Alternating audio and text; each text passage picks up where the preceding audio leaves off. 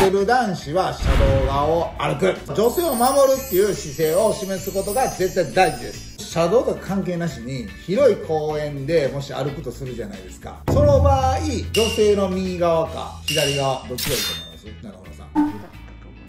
うん。その心は？心臓がおお何さん知ってるんなんかどっかで聞いたことそれ俺やろ？多分そうだと思いますそう。左側から急に来られると人間大体8割の方はびっくりするんですよ。人間って自分の心臓を守ろうっていう習性がある。でもっと言ったら反対側から来られたらもし襲われても右手って利き手じゃないですか。すぐ防御できるとかそういった部分もあるようです。初めてのデートとかでもし車道関係なしに歩く場合は女性の左側ではなくて右側にさっと歩いてあげるとすごくいいと思います。